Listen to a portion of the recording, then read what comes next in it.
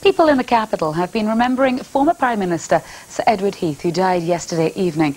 Ted Heath was the last Conservative leader to have served in the Second World War. In death, as in life, Edward Heath prompted mixed reactions on the streets of the constituency he'd served for more than 50 years.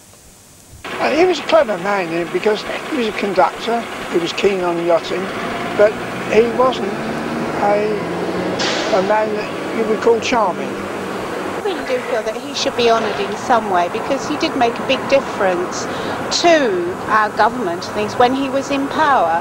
As far as I was concerned, whilst he was MP here locally, I was disenfranchised because I had nobody to vote for. I would never vote for him. I couldn't. Remembering Ted Heath, who died yesterday evening.